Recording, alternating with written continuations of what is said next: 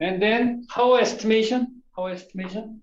Usually the guarantee, guarantee between customer, the ship owner, shipping company, and shipbuilding company. One of the main items is the speed of the ship. Speed is very important for ship owner and shipping company.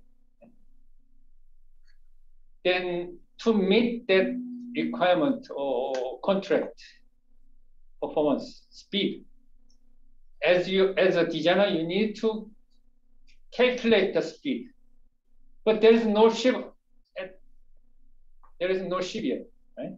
But you need to calculate. So we call this is an estimation, estimation, not the calculation. Very similar, but different. Estimation, there is uncertainty, many uncertainty there. I want to I want to build my home after marriage, right? Then what can be? What can be your home? Sweet home. You may expect uh, dreaming, but you need to calculate the money it costs, right? It is another kind of estimation. So power estimation is important. So then you need to decide which engine should be used for the design of ship to make the speed of say 25 knots. Eh? It's not easy. Eh? Right? Anyway, you need to, you should do that. You must do as a designer. So we, we need to study about it. And then model basin theory. So because it is a very complicated one, so that in old days, from the old days, they make a small size ship and then test in the uh, swimming pool, something like a swimming pool. But it's, it, it still have a problem. We cannot, because it is small, small scaled uh, model, we need to extrapolate the, uh, so then you need to uh, experiment by by getting some coefficient, some numbers by measuring uh, resistance of force. Then you need to extrapolate to the say full size. It still has a not easy. So that's why we are talking about dimensional analysis. Dimensional analysis is non-dimensionalization, right? non-dimensionalization, and ex extrapolation to full scale. That is about dimensional analysis. And then ship resistance prediction. So power estimation and resistance prediction is closely related. So resistance means you are running in, inside the pool. Force you are uh, feeling is the resistance force. Powering is the engine size, engine size. Because be between engine and resistance of hull, there is also propeller. Uh, engine, propeller, and then speed to against the resistance. So it's a, a series of uh, actions and, and calculations. we'll see. So how big is a ship? Uh, this looks like a bulk carrier for me. But anyway, 500 meter at that time is biggest ship in the world. And Maersk uh, container ship over 400 meter and, and 63 building is in Seoul. But it is already a smaller one. Now we have a Lotte. Lotte is the biggest one in Korea, Seoul that is about 105 floors, something, 103, something. I, I know that that building is about 500 meters now. So I need to exchange this figure. And Boeing, Boeing is big one, right? 747, it's only 72.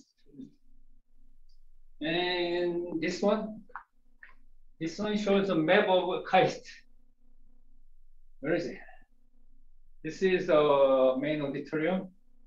There is a gymnastic, gymnastic sports center.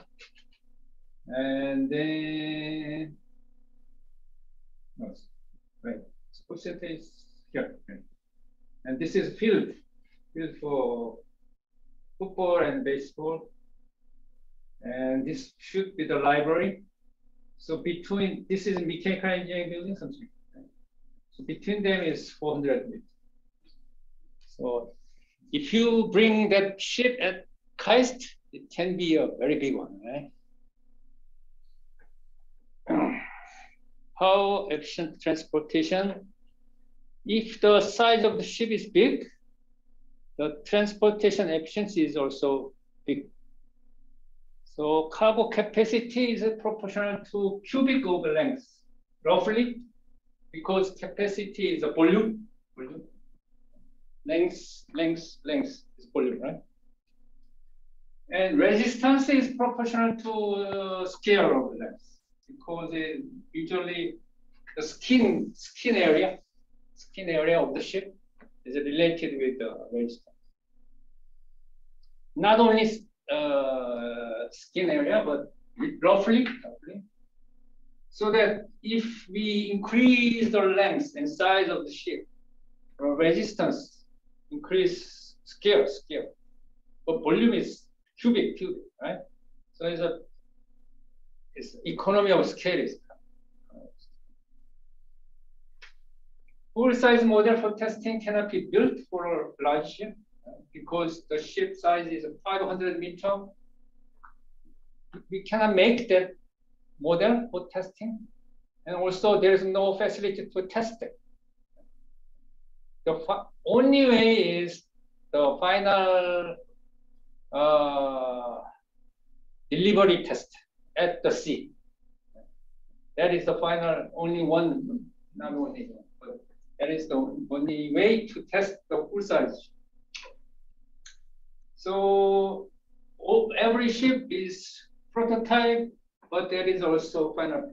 There is a difficulty for shipbuilding and ocean engineering.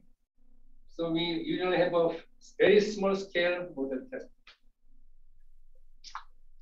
we see in the later stage. And this is uh, Esso Osaka, the a real ship. Length of 350, breadth is 50, depth, depth, power 35,000 horsepower. Speed is only 15 knots. In terms of kilometer per hour is 28. And displacement is 31 over 300,000 kilometers looks like it's a Japan ship owner. Right? And this one is inside the Eureka building where my office is. This way. this way, something. That's it, Eureka building. So sometime you can have a chance to visit Eureka building. You can see this is a model, model that is tested in Samsung Heavy Industry towing tank is nearby nearby. Uh, the Munji campus of KAIST. Have you been to Munji campus? Yes. No? Yes, only three. All right.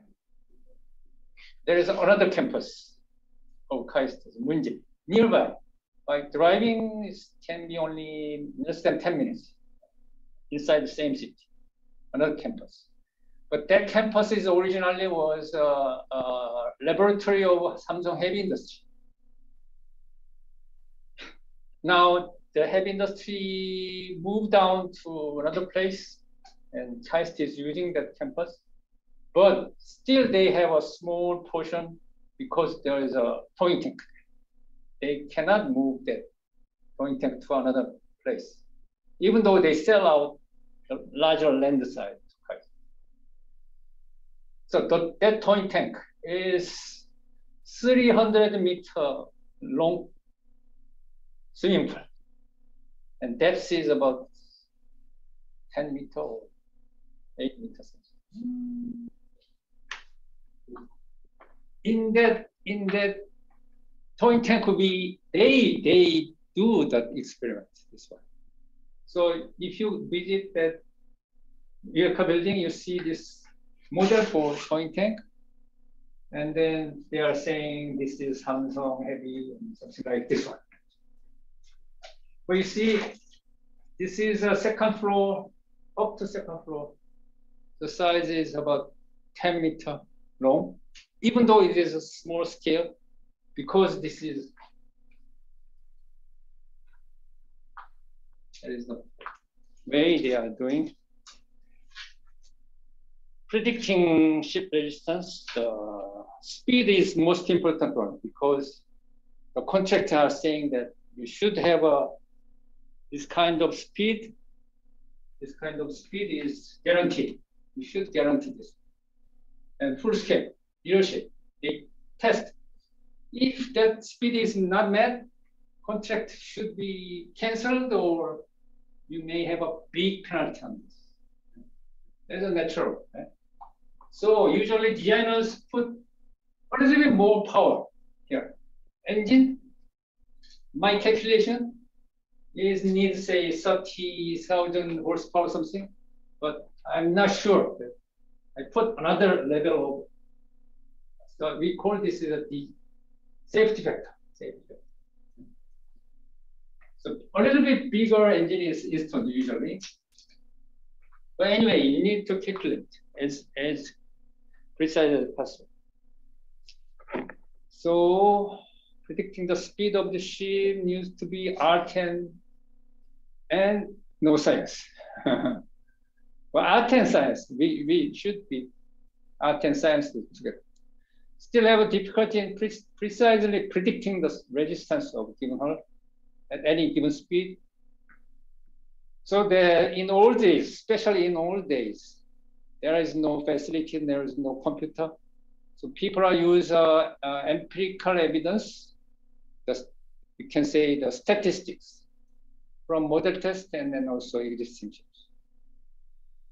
Another difficulty is the sea condition, cargo loading condition, and fouling. Fouling is uh, roughness of the skin of the ship because if the ship is, say, several years of operation, then uh, shells are attaching to the skin of the ship.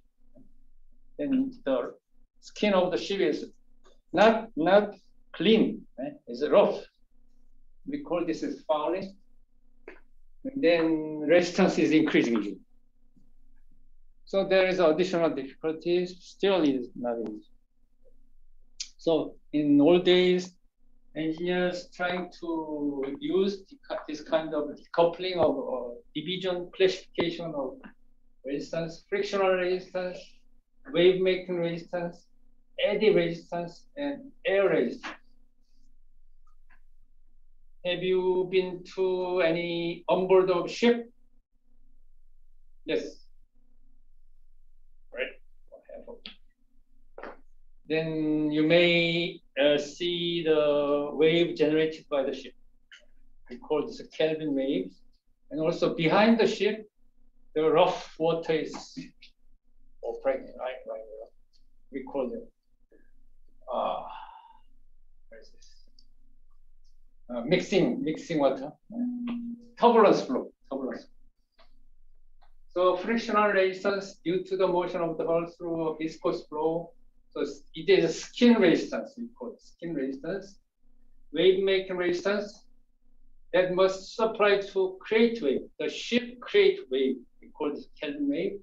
So the energy is used for generating wave.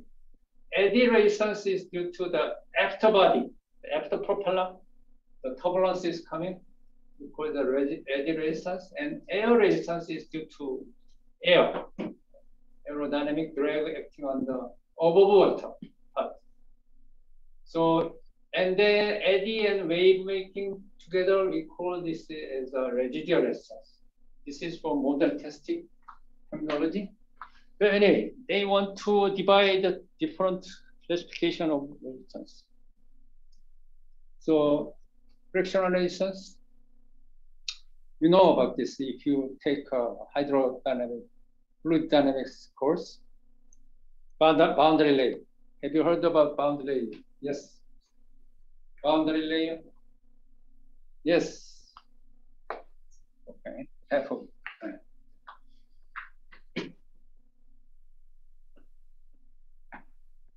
Uh, turbulence. Turbulence is very mixing motion of the fluid.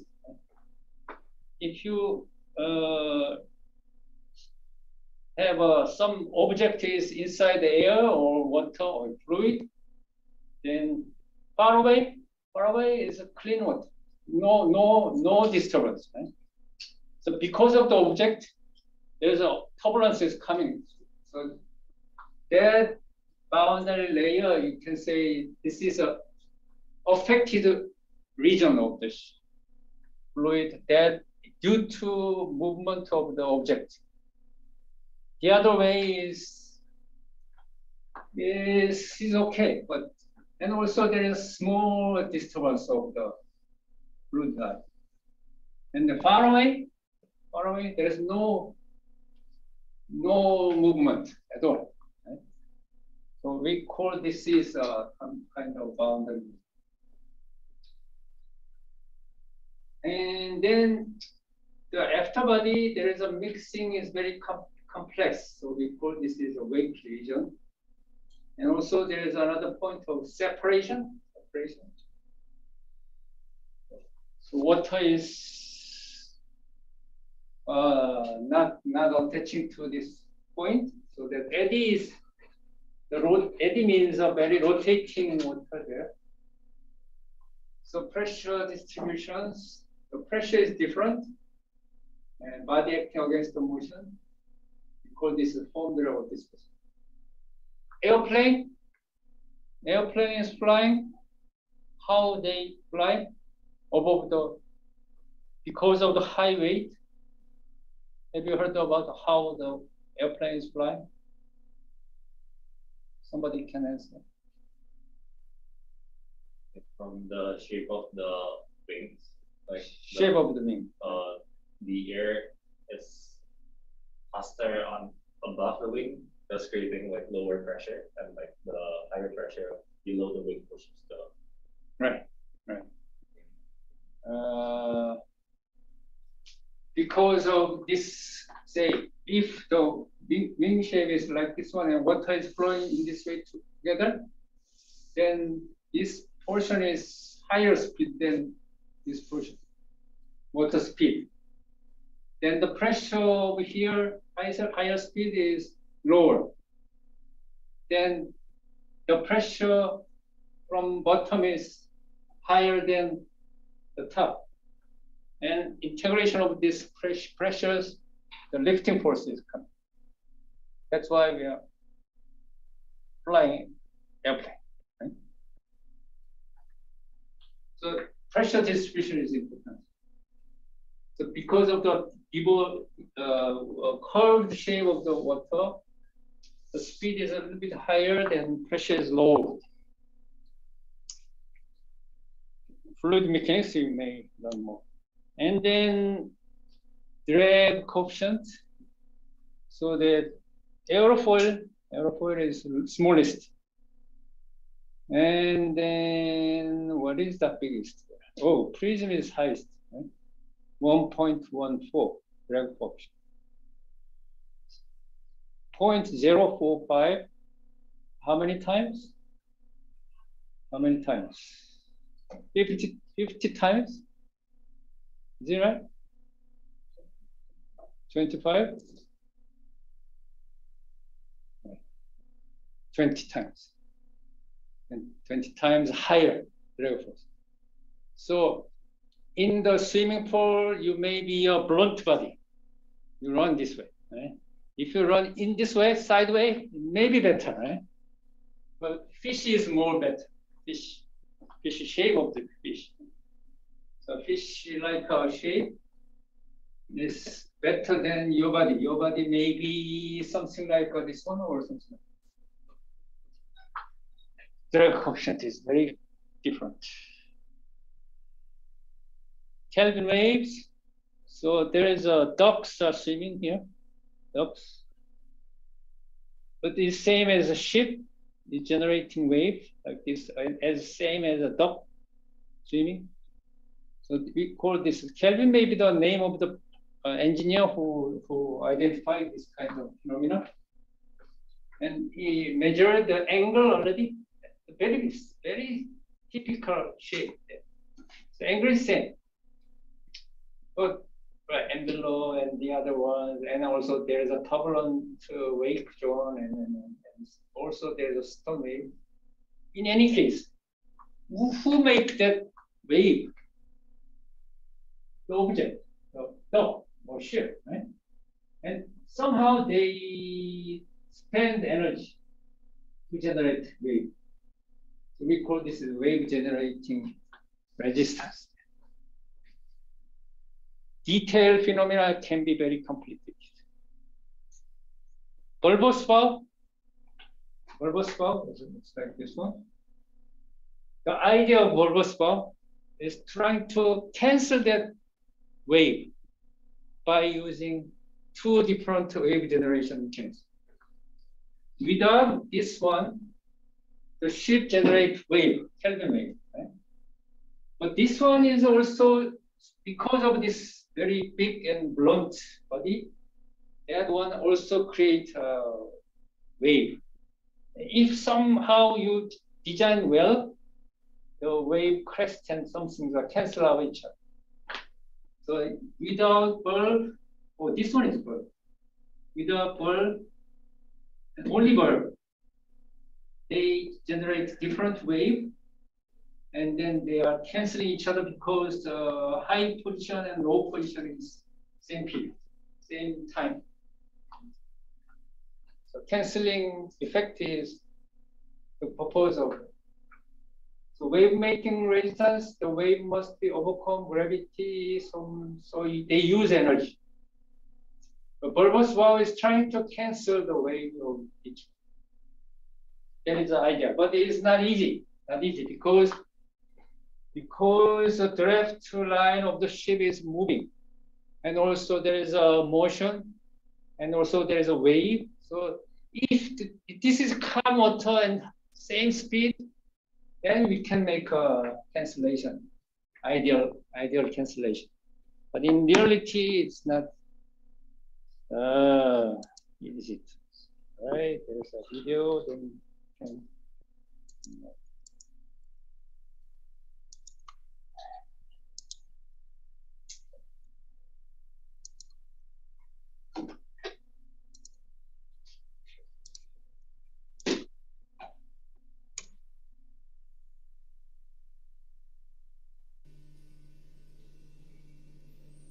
There's no sound. This is uh, model testing.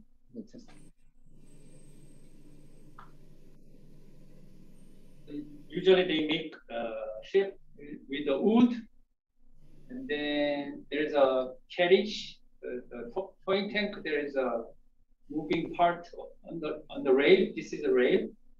At both sides of the swimming pool, there's a rail, and then over the bridge there's a, a towing carriage is move, moving by using a motor. Then they pull pull the uh, ship by using a, a, this kind of a device, and then they measure the force acting on the uh, point point point force is measured, and then there after that they need to calculate to find out total resistance of the ship. So with this kind of model, you need to test 100 times. 100 times of what?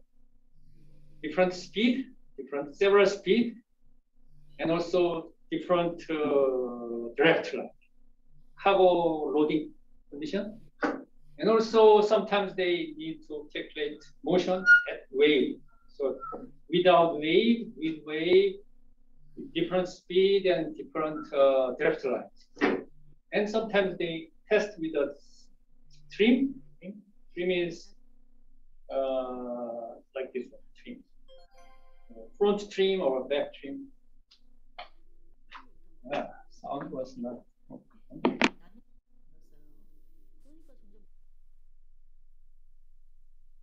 All right. That's it. Question? Question? And we move on to Gupta. Right.